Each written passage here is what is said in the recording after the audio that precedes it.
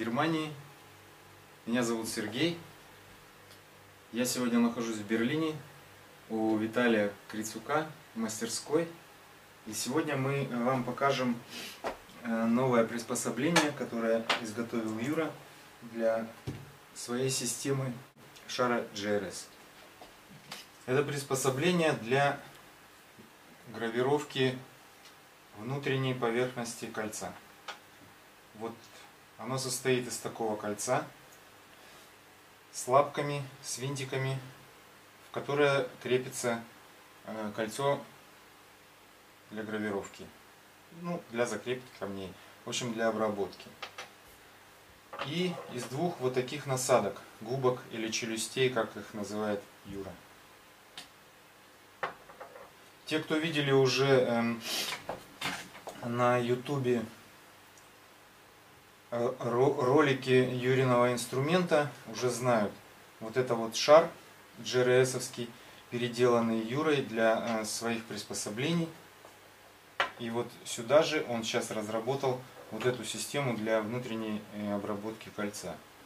Точно так же, как и все его приспособления, челюсти вставляются в шар. И потом в них зажимается кольцо.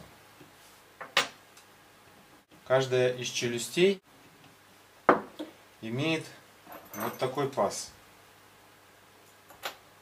в который вставляется наше кольцо.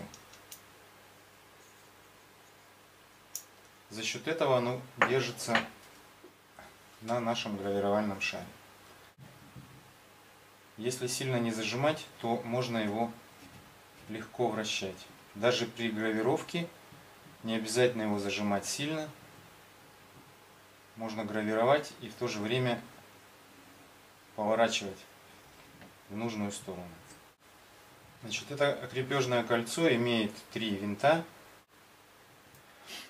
Лапки имеют радиус внутренний для кольца.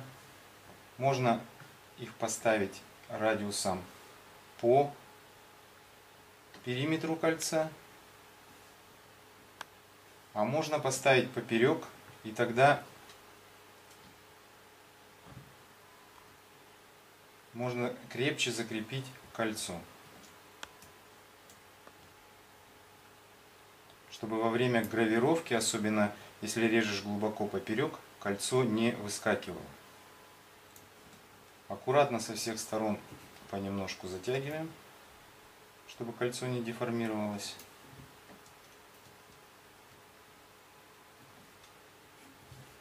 Вот. И теперь оно готово к работе. Система очень удобная. Э, можно для разметки можно использовать обычные разметочные инструменты. Карандаш, линейка, чертилка, циркуль. Допустим, если нам надо провести э, две параллельные линии, между которых мы потом напишем э, какие-то буквы, вымеряем нужные нам размеры, ставим с краю и просто поворачиваем кольцо и чертим эти линии. Точно так же можно использовать карандаш. Если э, здесь намазать какой-то белой там красочкой, допустим, э, представляем карандаш и крутим. В ту сторону или в эту сторону, в любую, как удобно. Можно просунуть линейку и делать поперечные какие-то метки. Ну и естественно чертилкой. Удобно работать чертилкой. Вот, допустим, у нас здесь есть свободное место. И пишем какую-то букву. Вот такая буква L.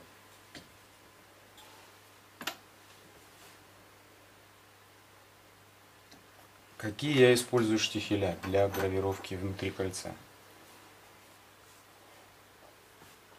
Один штихель, в общем-то, обычный.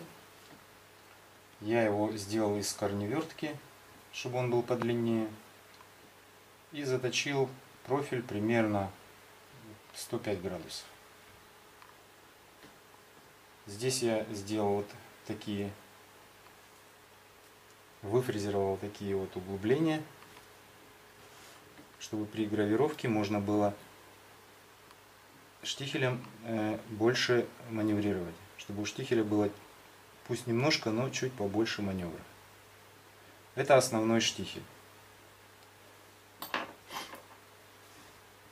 есть еще два вот таких вспомогательных штихеля кривых.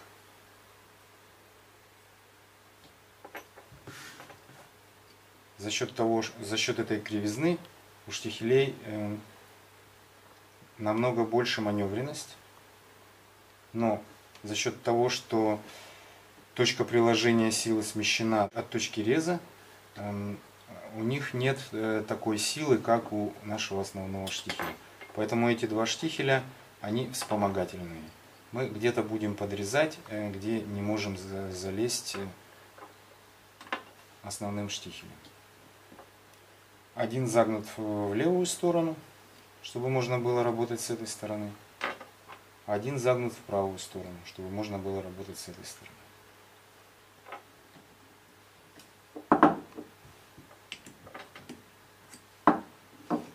Сейчас я покажу немножко, как это происходит. Основные линии делаем прямым штифелем.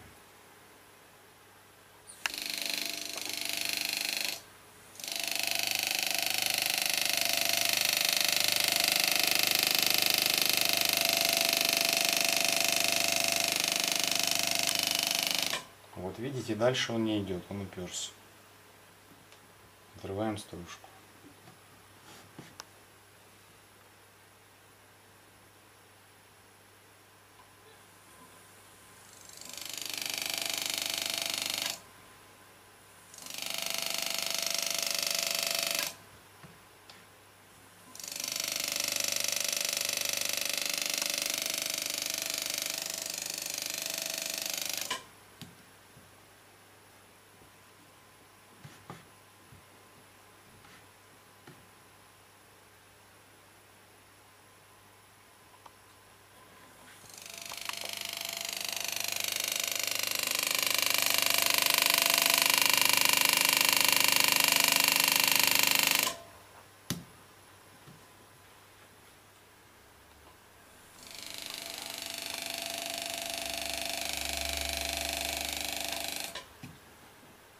Вот, теперь у нас осталось две точки,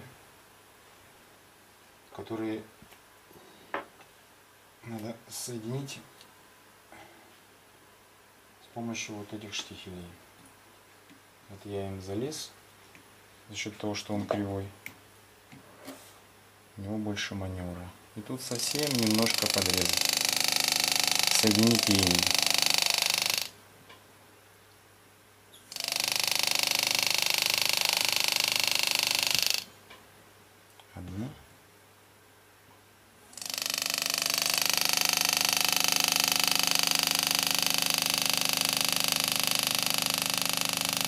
и вторая.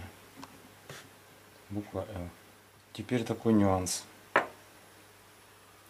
Если вы гравируете вдоль кольца по периметру, то желательно, чтобы кольцо было подвижно. Потому что кольцо круглое, и если мы будем гравировать, вести штихель вперед, то он в какой-то точке упрется. Как бы мы его круто не затачивали. Поэтому лучше держать штихель примерно на месте и подкручивать кольцо.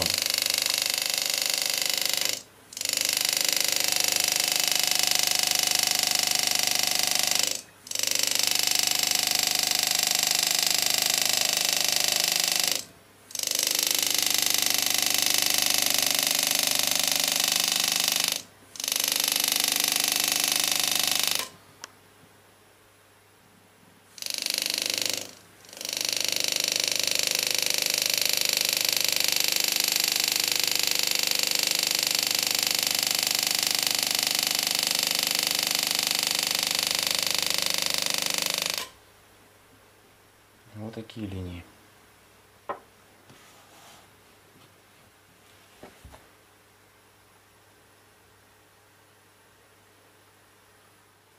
Еще один плюс этого приспособления, что полировать, э, шлифовать кольцо внутри можно прямо вот на шаре, не снимая его. Тогда вы не обжигаетесь, э, хоть кольцо и нагревается. И не надо его держать пальцами. Оно жестко зафиксировано в шаре.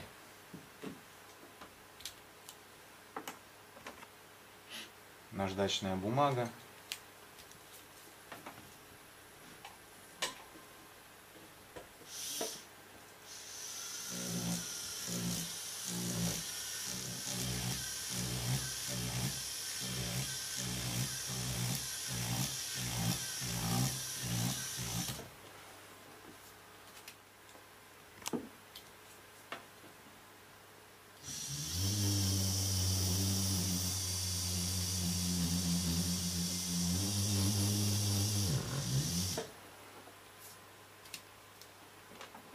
Или полировочная резинка, все что угодно.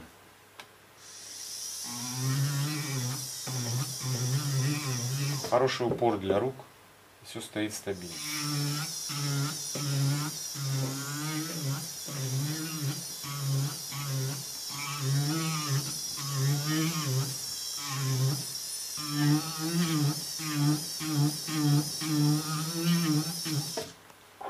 Очень много плюсов. Можно даже вставлять камни.